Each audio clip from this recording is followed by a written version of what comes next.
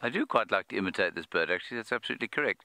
It is our, our last segment before we head off towards the fireside chat. It's getting a little bit dark and it's been, well, it's been positively ominous all day long. Those are the Hadeda ibis, made famous around the country because those who wake up on Saturday mornings with a pounding head from the excesses of the night before dislike them vociferously and intensely. And I will tell you a story quickly about the Hadeda ibis, which sounds like this. Ha!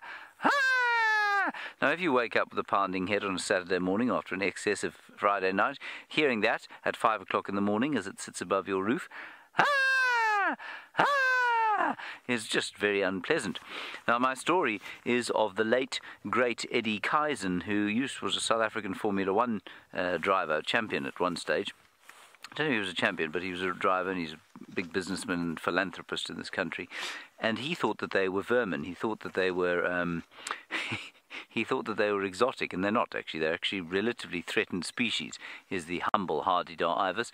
And Eddie, I took on a game drive once, and he expressed to me that he had at one stage and was no longer doing this purchased himself a small 22 rifle which he used to lie on the floor in the mornings part the curtains very slightly on a saturday morning and aim at these hardy Hadedas and he potted one or two of them and then he phoned up the birding guy the big birding guy that you've seen the book that i use often phoned him up and said, Listen, I've potted two of these things. I don't suppose you want them. And apparently, this birding guy absolutely lost his mind. His name was Ken Newman. He said, Are you absolutely crazy? These things are threatened species. You can't go shooting them in the morning just because you wake up with a headache because you've had an excessive Friday night. How dare you? And thoroughly chastised, his tutu went away, and all the Hadedas were welcome in his garden thenceforth. And that is my Hadeda story. So it is a very beastly noise to hear if you were trying to sleep, but I quite like it. And they get when they're little, they sit on the roof next to their parents and they go ha ha ha ha ha.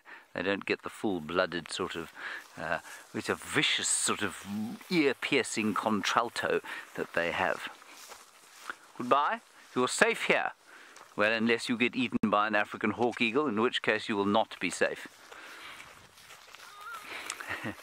and Chantel in the final control makes a good point. She says she thinks the reason they're threatened is because they make such a beastly noise.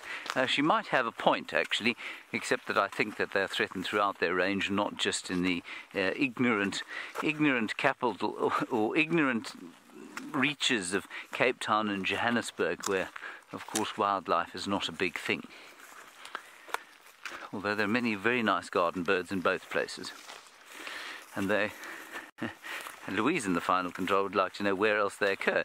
Louise, they are very widely distributed throughout South Africa. I think you'll find anywhere where the rainfall is in excess of around about 350 millimeters, I think you will find hardy ibis thrive all of our major cities.